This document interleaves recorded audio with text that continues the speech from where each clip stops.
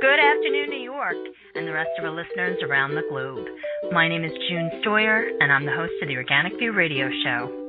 Our podcast is available on iTunes, Zune, and all major podcast providers. You can also visit our website at www.theorganicview.com, where you can subscribe to our newsletter to find out about upcoming guests, features, events, and other shows on our network. If you have any questions or would like to find out about sponsorship opportunities, please visit us on Facebook, Twitter, or send us an email to questions at theorganicview.com. Recently, the European Commission proposed a two year suspension on the use of three neonicotinoids after the European Food Safety Authority, otherwise known as EFSA, deemed their use to be an unacceptable risk. The ban failed to, to achieve a weighted majority and therefore was not passed. However, is still subject to an appeal where environmentalists and bee health advocates are anticipating a victory. In this special series called The Neonicotinoid View, my guest co host Tom Theobald and I will be joined by environmental and bee health advocate Brigit Strawbridge, who has been campaigning against neonicotinoids and is going to explain the recent developments in Europe with the proposed ban. So I would first like to welcome to the show my special guest host, Tom Theobald. Good afternoon, Tom. Hello, June. And our special guest today, the lovely Brigit Strawbridge. Good afternoon, Brigit. Hi, June. Hello, Tom. Hello, Brigit. It's nice to meet you. You too.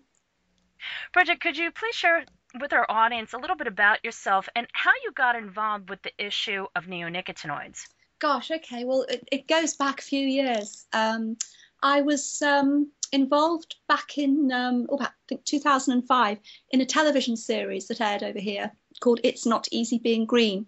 Um, I think it was shown in in the United States as well. So it basically um, the BBC followed my my family and myself as we moved to Cornwall, and um, oh, we, we we kind of we bought an old small holding and we converted it and built a water wheel and put up wind turbines and solar panels and built compost toilet and um, started growing more of our own food. And basically, the, what we wanted to do was to live a lower impact life. And um, this this was aired in eight um, episodes of, of the series. So following the airing of the series, I had emails from people all over the world, wherever it was being shown. People would email and say, you know, we'd like to to do more, but we don't think we can because we haven't got land or we haven't got um, the funds or so on and so forth. And and I thought, gosh, no, this is this is this is so wrong. Everybody can do something. Everybody can make changes. So I set up a charity called the Big Green Idea. I bought um, an old double-decker bus that had just been um, decommissioned from a fleet um, nearby, and and had someone do it up for me. So it had a, a solar-powered cinema upstairs, and um, just just basically we we went to towns and cities and uh, schools, and wherever we went, the idea was that as people came to the bus, whether they were uh, men, women, children, or whatever their interests, we'd have something to show them. So, so we'd be talking to them about um, about alternative energies, obviously, and permaculture, soil composting, skincare, um, organic food, um, biodiversity, bees, and as time went on, I became aware that that the more people came towards the bus, the more I was thinking, oh, please, please let them ask me about bees. Um, this is what I really want to talk about. So this was at the same time as the headlines started to appear in the press about bee decline, and and I, I had I was sort of reading the headlines and thinking, wow, this is this is serious stuff. This is quite scary. At the time, I was thinking this is scary for the human race. Um, and I thought it was all about honeybees. Um, and and gradually that was so so now I'm sort of coming to about three years ago. I started to to realise that this was this was about more than just honeybees and CCD. That this was impacting on on other bee species and other insects and pollinators. And so for the last few years, I, I've basically spent my entire time researching, reading everything I can get my hands on, listening to everything, everyone who who has real knowledge in this area, to try and educate myself and be able to assimilate the facts and then pass them on to to the people I speak to, the people I meet, and the people who I connect with on the internet, so that they too can get a grasp of the enormity of of this problem. This is not just about honeybees. Bumblebees are and solitary bees are massively important as pollinators. And there was recently um, a, some scientific research that was done by Stirling University, and basically it showed that um, bumblebee colonies that are ingesting field realistic amounts of neonicotinoids are devastating effects on their requeening. So, on average, a bumblebee colony will produce 13 new queens. A bumblebee colony that has ingested the neonicotinoids, imidacloprid, um, in realistic field amounts will only produce two new queens. That's an 85% reduction. And, and the only other thing that's worth mentioning is, is that during that journey, I've fallen in love with bees. so that's it in a nutshell, really. That brings me up to today. Brigit, uh, naturally, we've been watching the goings on over there very closely because this is a global issue. And recently there was a vote in the European Commission on the, the proposal to ban three of these neonicotinoids. And it's our understanding that this vote is sort of in limbo because it has failed to gain a weighted majority. Could you explain a little to those of us who don't understand your system too well just how this operates and what we may expect to come in the near future?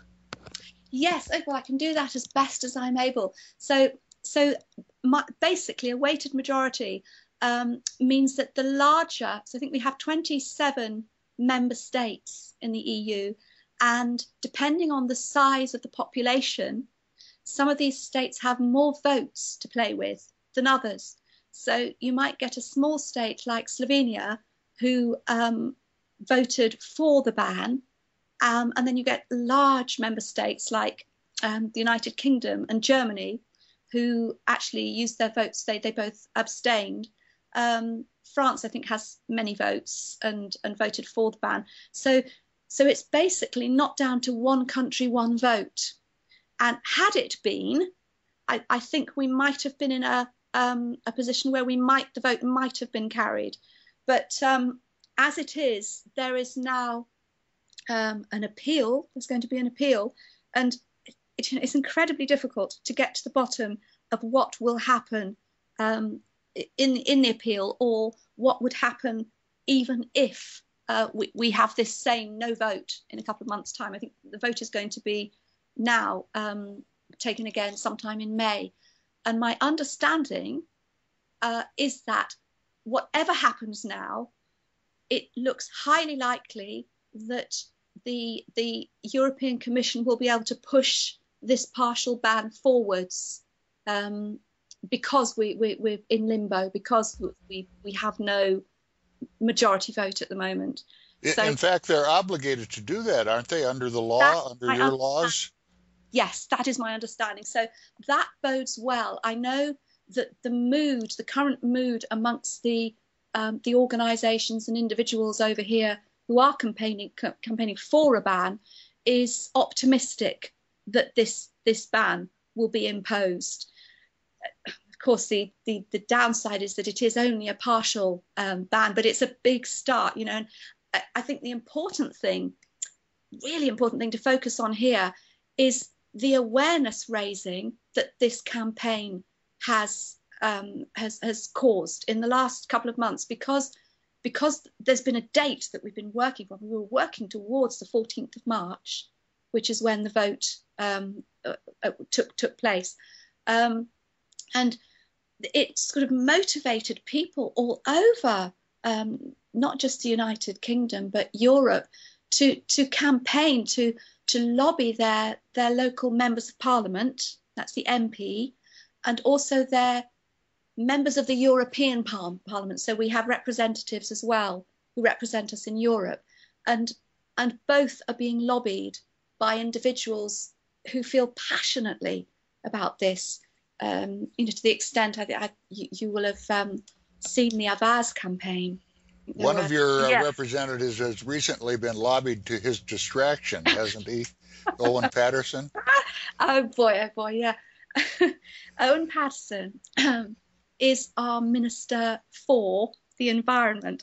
and th- this this is a man who is pro um, he's pro nuclear, he's pro GM, he's he's pro um, neonicotinoids, and he recently has complained. He's actually um, complained officially uh, and called for an email block after he has been um, he calls it a, a cyber attack because he's had over 80,000 emails from people who are concerned about these pesticides, calling um, for him to invoke the precautionary principle.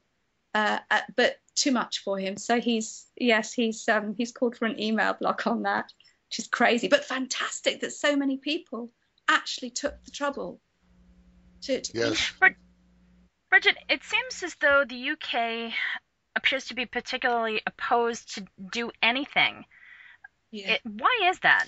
Oh gosh, so so well, okay, my opinion. This is just my opinion. Um, first of, of all, course. Um, I, I I think we lobby we we we campaigners and groups campaign groups um, don't have any any funding behind us. We don't have enormous amounts of money behind us to to be able to lobby. We don't have um, as much influence as companies like Bayer and, in particular, Syngenta have in the UK.